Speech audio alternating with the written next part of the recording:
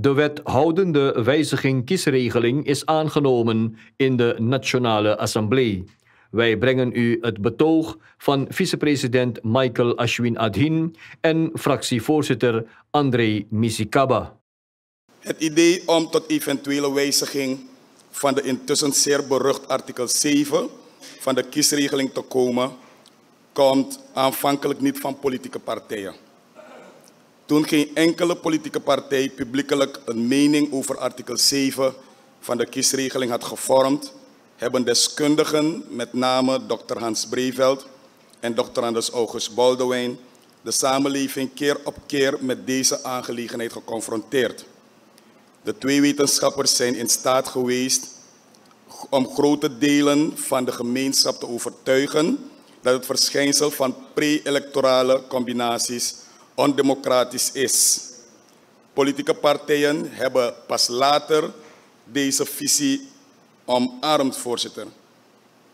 En ik heb statement hier van verschillende politieke leiders in de zaal met dag en datum waarbij ze hebben aangegeven, voorzitter, dat zij alleen de verkiezingen van 2020 zouden ingaan. Bijvoorbeeld de heer Raymond Sapoen op 19 november 2018. Ik kan het delen met hem. Uh, de, de, de voorzitter van de Pertjaloer op 27 maart 2018. De voorzitter van de NPS, zowel op 25 juli 2016 als op 28 mei 2018 uitgekomen. En zo zouden we door kunnen gaan, voorzitter. De onthulling van lid Gayadin dat de NDP terug zou gaan in RR-zetels en dat zijn partij daarentegen zou groeien, legt bloot dat dit voorstel dat van de VAP kwam een gelegenheidsvoorstel is. Het voorstel heeft dus niets te maken met het streven naar een rechtvaardiger of democratischer kiesstelsel. Men is projecties gaan maken en zetels gaan tellen. Dat is hier gezegd, voorzitter. Toen men op basis van die telling doorhad dat de VAP beter uit de verf zou komen, heeft men het voorstel gedaan. Eigenlijk niet vreemd, niet verrast. Sommige partijen staan bekend om hun koehandelij, voorzitter. Wij waren nog niet eens zo ver als NDP. En uiteraard tellen wij ook. Ik denk dat de NDP de beste tellers heeft. Wij hebben niet alleen nationale, maar als het moet, voorzitter, halen we internationale tellers omdat we objectieve cijfers willen hebben op basis waarvan wij politieke projecties maken. Maar wij waren nog niet zo ver. Wij zochten slechts naar een democratischer model. We waren bezig met de natie. De kerngedachte bij ons, wanneer we deze exercities doen, voorzitter, is hoe maak je de verkiezingen beter en het is niet een basis van koehandelarij, voorzitter. Tijdens de openbare commissievergaderingen hebben diverse leden van uw college, en ik heb die verslagen op nageslagen, u weet dat in het nieuw systeem van ons we toch wel hele uitgebreide verslagen hebben van de wetten vanaf het moment van behandeling. En voorzitter, u kunt de verslagen op naslaan. Daar hebben diverse leden van uw college de regering gevraagd om de voorstelling die op tafel lagen te heroverwegen. Ten aanzien van het voorstel van RR, voorzitter, en het voorstel van RR dat op tafel lag, komt erop neer dat je eigenlijk zou stemmen op RR-niveau op, hetzelfde, op dezelfde manier hoe je stemt voor DNA. Dat er maar één hokje op het stembiljet gekleurd zou worden, voorzitter. Ten aanzien van dit voorstel, voorzitter, is er gezegd Regering, waak ervoor om geen verwarring te brengen onder het electoraat. De mensen stemmen al 32 jaren op een bepaalde manier. Nu kan de burger, en in dit systeem kan de burger zelf haar RR, haar resortsraad samenstellen, voorzitter. Door verschillende kandidaten op verschillende lijsten te kleuren. Dus dat betekent dat een kiezer van de NDP, wanneer die zeg maar in, in, in, in Resort Latour zou stemmen, dat de persoon niet per se alleen kandidaat op de RR-lijst van de NDP, voorzitter, hoeft te kleuren als de persoon vindt, omdat u weet dat wanneer we praten over RR, dat we praten over het lokaal niveau, waar het echte werk wordt gedaan, voorzitter. En de mensen kennen elkaar. Zo weet die kiezer bijvoorbeeld. Afro Tapa Uku is zeer zuurgoed. Is niet van mijn partij, maar ze is wel goed. Ze is bekend bij de buurt. Ze weet waar alle gaten zijn in de straten. Ze weet precies waar alle borrelpassies zijn. Dus alhoewel die vrouw geen NDP'er is, wil ik haar wel in mijn resortsraad hebben. Ja? Dus, dus en, en, en hetzelfde als, als de, de, de, de, welke andere partij dan ook uh, de persoon kan zeggen, die NDP'er kan zeggen, die persoon is geen VAP, is geen NPS'er, ja, maar ik wil de persoon wel. Dus over en weer, het gaat erom dat die kiezer, dat is de kern, zelf de RR kan bepalen. Ja, voorzitter. En er is aandacht gevraagd van de regering hiervoor.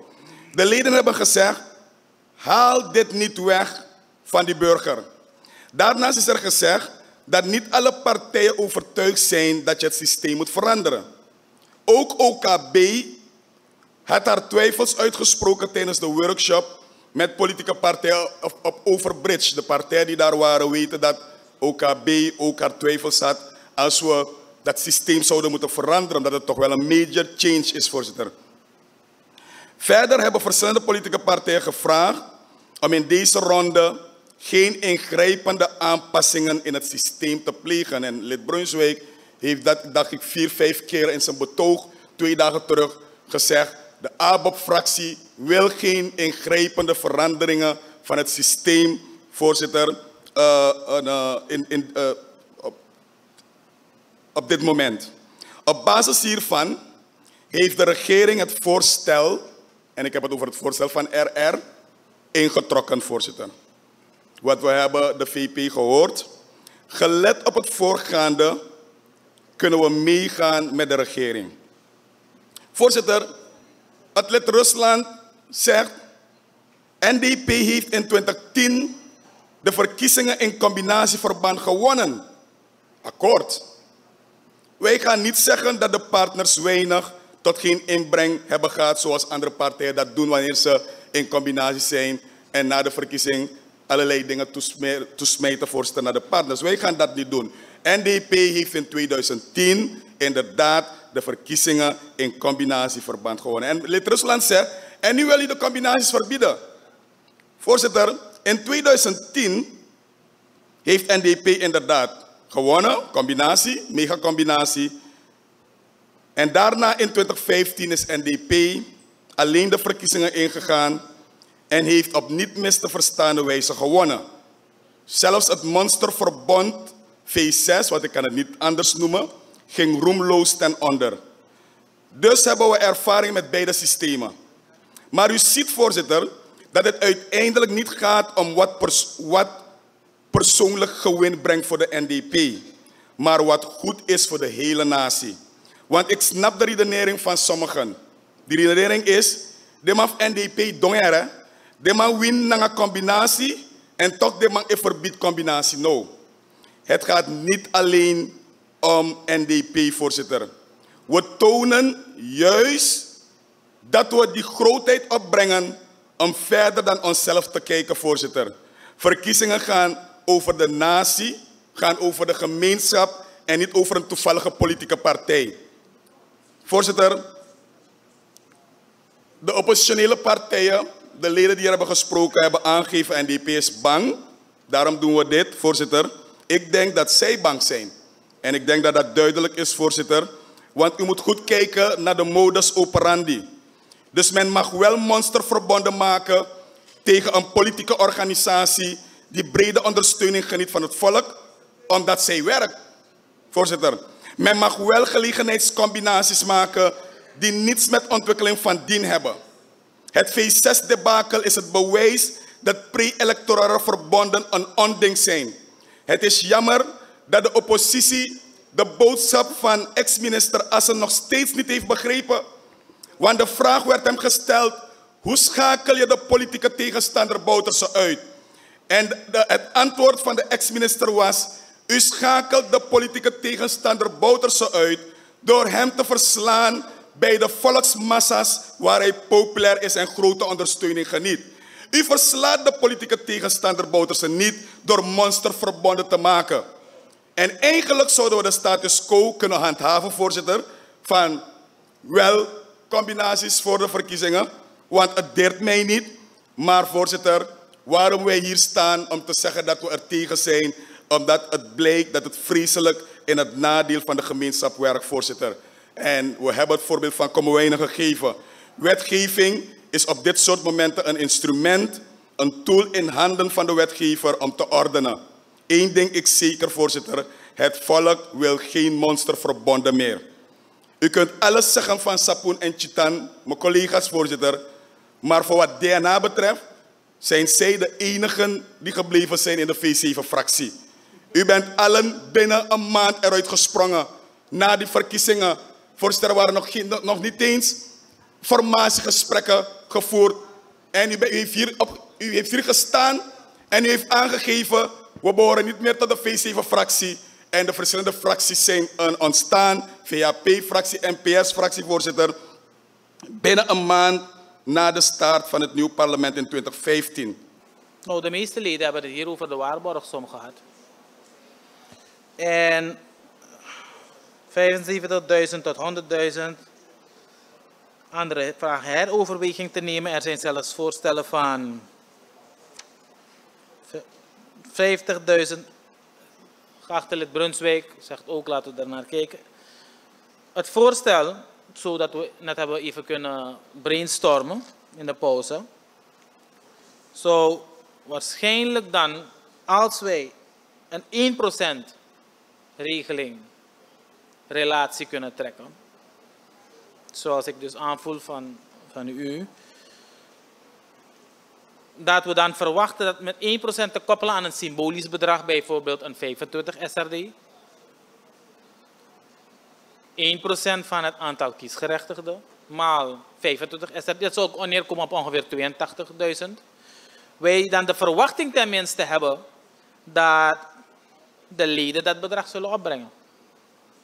Als dat een redelijk voorstel is, dan denk ik dat we eruit zijn. Om het geachte lid te helpen zijn kronkel te ontkronkelen. U kunt niet tegen zijn dat u zonder combinatie meer keuze laat aan de kiezer. Hoe kunt u daar tegen zijn? U kunt niet tegen zijn dat de kiezer meer zekerheid kan hebben vooraf hij gaat naar de stembus. Daarna mag u met werken met wie u wil. U kunt ook niet tegen zijn en oneens zijn dat op het laagste niveau de mensen belangrijk zijn en de personaliteit van de mensen. Kunt u niet ontkennen. En u kunt ook niet een foefje gaan toepassen en restzetels gaan willen optellen omdat u wil combineren. En daar de kiezer op zich niet op kiest, voor kiest. De kiezer kiest voor die partij. En als u wil combineren om dan die restzetels op te pakken, om toch uw, dat is uw partijcentrale benadering, niet de kiezersbenadering. Daarmee denk ik dat de ontkronkeling plaats heeft gevonden. Maar ik denk ook, voorzitter, het voorstel zoals um, de keuze voor de waarborgsom. Er was ook een melding, maar uh, het geachte lid Sapon heeft dat ook aangegeven. Het is extensief aangegeven waarom we die 1% regeling weggehaald hebben. Maar nu met de koppeling, zoals het voorgesteld is, denk ik dat we een. Ik hoop dat wij dan eruit zijn. Dat wij met de koppeling aan een waarborgsom aan 1%, maar dan van de kiezer een symbolisch bedrag 25 en ervan uit kunnen gaan. Geen malafide bedragen van ergens zouden komen, dat de bedragen opgebracht worden door de kiezer. Hiermee wij dan uit die discussie zijn.